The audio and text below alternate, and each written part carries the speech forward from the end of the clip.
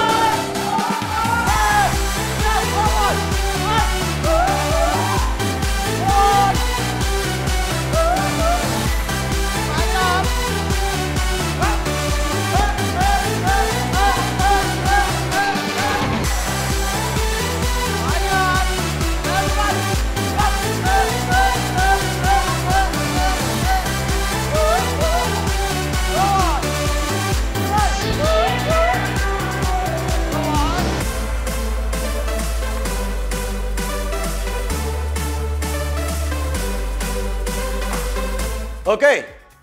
Spoorthi வந்தாங்க. L walk சொல்லி கொடுத்தாங்க. அப்புறம் இந்த பக்கம் மூவாகிற மாதிரியாக e இ சொல்லி கொடுத்தாங்க. ஷாந்த் வந்தார். பேக்கிடா ரொம்ப ஃபங்கியாக மொத்த குரூப்பும் ஒரே ஃபன் லவிங்காக பண்ணாங்க. ஸோ இதை புட் டுகெதர் பண்ணும்போது இன்னும் இன்ட்ரெஸ்டிங்காக இன்னும் இன்டென்சிட்டி ஜாஸ்தியோட இன்னும் நிறைய எனர்ஜியோட இன்னும் அருமையாக இருக்க போகுது. Are we?